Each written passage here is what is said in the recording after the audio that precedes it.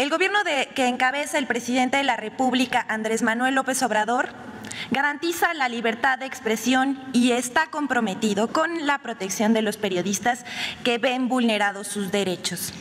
Desde este espacio, en el quién es quién, en las mentiras de la semana, nos solidarizamos con los periodistas amenazados por el crimen organizado, con cualquier amenaza o acto de intimidación. El Gobierno de México está comprometido con la libertad y el derecho a la información. Ya no hay censura, ni compra de conciencias por parte del gobierno y se toman medidas para proteger a los periodistas que se encuentren en situación de riesgo como consecuencia de su ejercicio, eh, de su profesión.